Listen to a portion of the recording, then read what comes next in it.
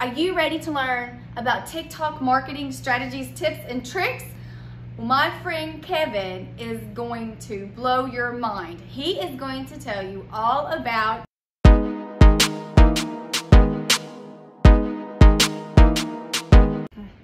Okay, I'm going to turn it over to my friend Kevin so he can dig deeper into his TikTok strategies and show you what he's doing. Hey Shelly, thanks for having me on. I want to share with you guys some of my tips and strategies that I use to get some of my success on TikTok. Now, comparatively, my results are a little bit smaller than a lot of people, but right here you got 3,957 currently with 177,000 likes, and collectively I've had well over a million views. So I want to share that with you and try to help you along your journey to generate leads and sales in your business using TikTok while it's still available. And I know that Trump has been going off that he may ban it. You might be watching this years down the road, who knows when. Something that you need to know is this style of creating content has happened before and will continue to happen on other platforms, whether or not TikTok is here. You might have heard of something called Vine many, many years ago. It's now defunct. Many of the creators that started on that platform moved to other platforms like YouTube. Uh, not the best example, but like Jake and Logan Paul started on Vine. Just to give you an idea, you learn how to communicate in these short, small videos using text and words and grabbing people's attention. So you can actually translate this to other things like Instagram stories, Facebook stories, or short clips on those pieces of, of platforms and, or the next platform that comes along that has this style. So, so don't worry about that. So what you're gonna learn in this video, uh, how to create these videos or what you should focus on, because most beginners overthink things way overthink things. So you're going to go with results videos, modeling trends, uh, duets, how-tos, and video replies. And a results video is very simple. What I'll do is I'll share my screen, see if it pops up. So a results video is like this. Online sales, where I'm just showing the sales that I've actually made. And I'm giving a call to action to go to my website. That's it. And I didn't do anything fancy with this. All I did was literally just pull my phone out, record my screen, just like that. So simple, and it works. The next is modeling trends. Now to find trends, you're gonna go down to the Discover button, and you'll see all the trends that are happening. Now, a lot of it's dance and silly things, but you can actually search these. Let's say if I wanted to do affiliate marketing, I would just search, say affiliate marketing, and it'll give me all the top users or the top trending ones, the top users, top videos, the top sounds I can use, and the top hashtags.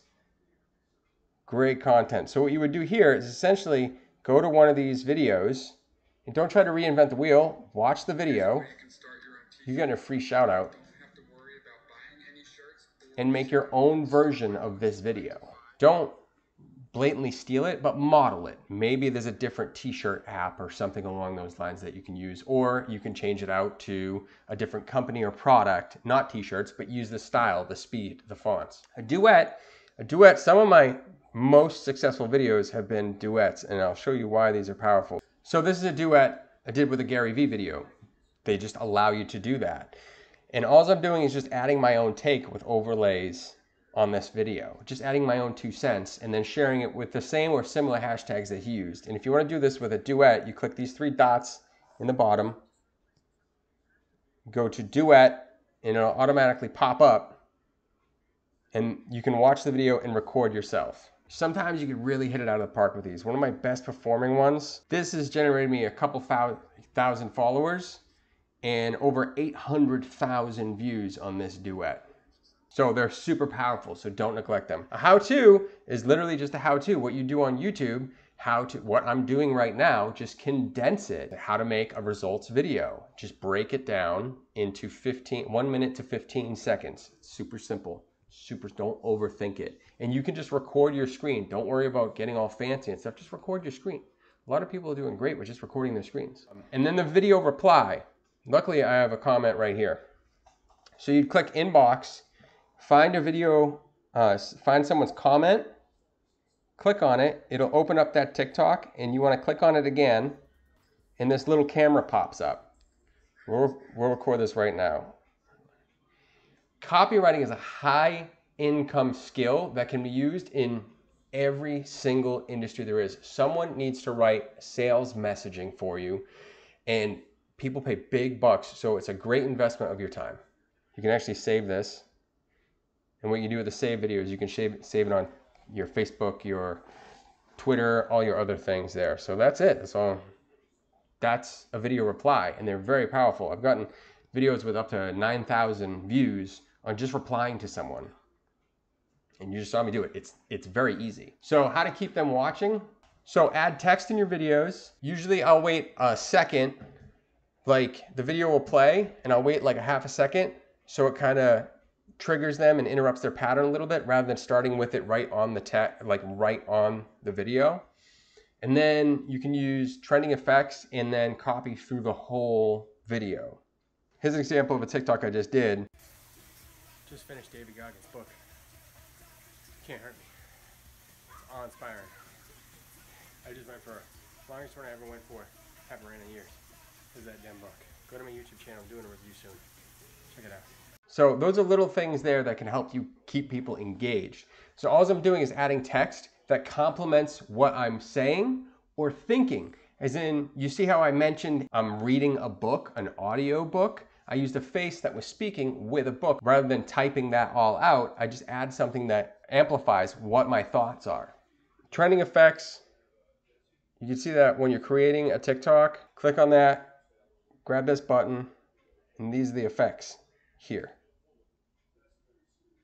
Find a trending one, create a video around it. This is important. Always add music. If you don't need music, what you can do is turn it down.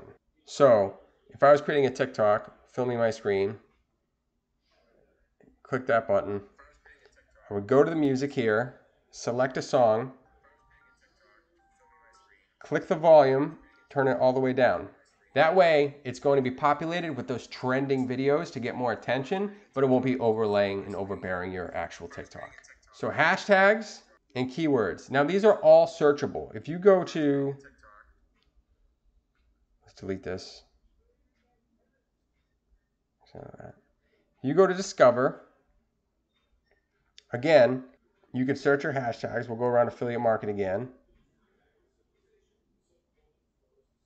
This is where you're going to find all of those hashtags that are related to what you're actually making copy about or making your videos about.